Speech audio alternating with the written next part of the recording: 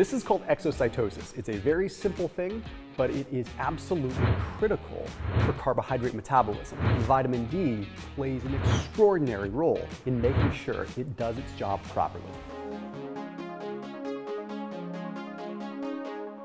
Vitamin D leads to calcium absorption. Calcium absorption leads to proper glucose function, but everyone is so busy talking about vitamin D playing a role in osteoporosis that they forget about its role in metabolic function, which if you ask me, metabolic function is like the hallmark of everything. Like it's where everything kind of starts, at least that's my opinion.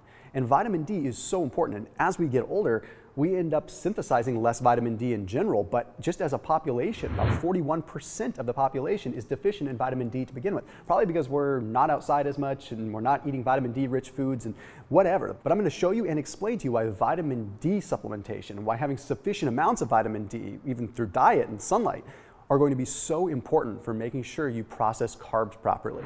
Hey, after this video, I do want you to check out a company called Sun Warrior. If you are someone that is looking to preserve muscle mass and you're looking to just get your metabolism in gear, I would highly recommend something called the Warrior Blend.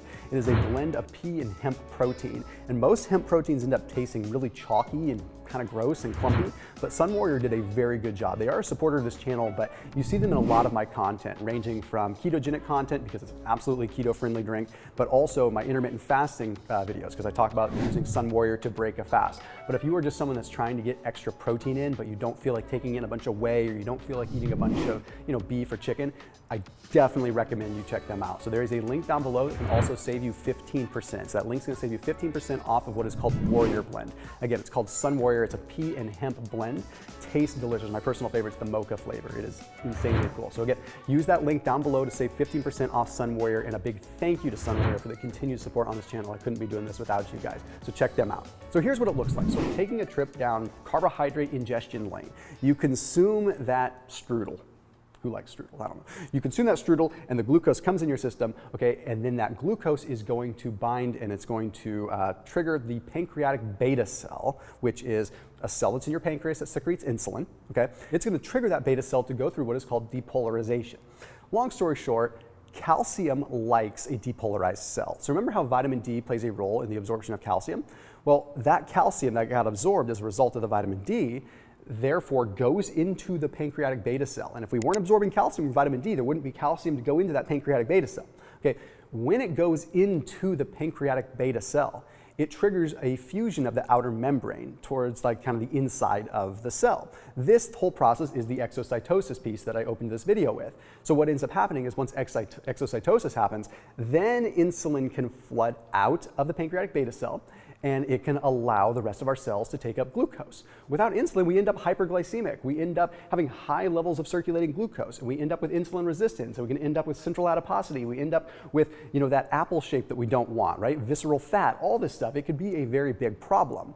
So where does vitamin D like directly come in? Well, it's interesting because vitamin D has this indirect effect on allowing us to use more glucose, but it also seems to have a direct effect. So take a look at this interesting study.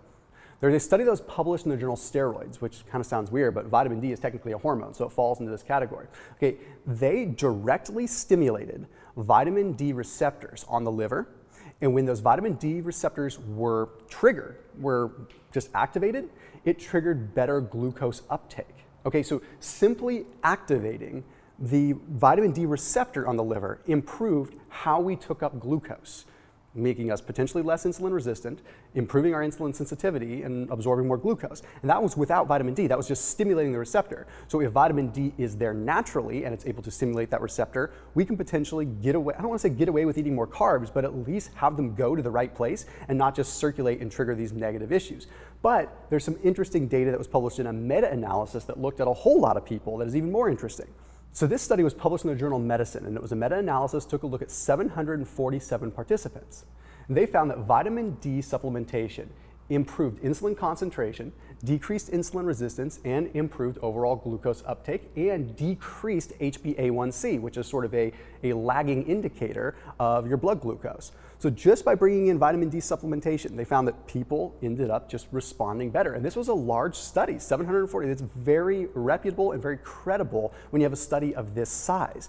They also found there was an inverse correlation between higher levels of vitamin D and decreased central adiposity okay, and lower levels of vitamin D and increased central adiposity. That means like visceral fat, that means the fat that we're storing around the midsection, not necessarily evenly distributed. And there are a lot of indicators that show that central adiposity has to do with insulin resistance. So we have all these different links that are connected here. Okay, vitamin D, less insulin sensitivity, higher levels of blood glucose, therefore central adiposity. So does just adding vitamin D into the mix end up fixing everything? Well, I don't say it's going to fix everything, but if you are deficient in vitamin D, you may want to look at ways to get vitamin D in. Now, I don't care if that's coming from a supplement form or if it's coming from additional sunlight or if it's coming from fatty fish and it's coming from like sardines and vitamin D rich foods or good quality eggs, things like that.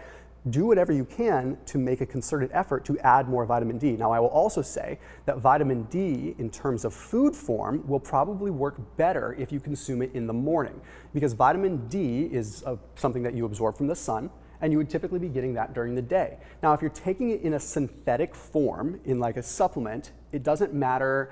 The chronobiology doesn't matter as much. It doesn't necessarily matter what time of day you take it. You could take it later in the day. But when it comes down to the food, which is going to be more bioavailable, it's more bioavailable vitamin D, bioavailable retinol A, all this that's going to absorb quicker you want those kinds of foods in the morning. Okay, so uh, eggs with lox or eggs with, I don't know, some salmon, some sardines, things like that that are vitamin D rich foods have those stacked in the morning because then it's going to align with your circadian clock genes, registering that, oh, this is daylight hours in the morning getting vitamin D, allowing it to synthesize and do its job. Now, if you're trying to get more sun exposure, keep in mind that if you're in your 20s and 30s, 20 or 30 minutes of good sun exposure can do the trick. But as you get older, you have less 7 dehydrocholesterol, which actually converts the sunlight into the usable D3. So after age 40, you need to start spending like 10 extra minutes in the sun per day. But then you run into a different set of problems with you know, being concerned with sun exposure and all this. So getting it from the diet is probably your best way to go in combination with getting it from the sun. The bottom line is yes, it can help you with glucose utilization. If you're doing a lower carb protocol and you want to make sure that you're not going to feel like garbage if you do have a couple carbs or two, making sure your vitamin D levels are in check could be a big player. As always, I'm not a doctor, I'm just some dude on the internet, so take it for what it's worth, but I'll see you tomorrow.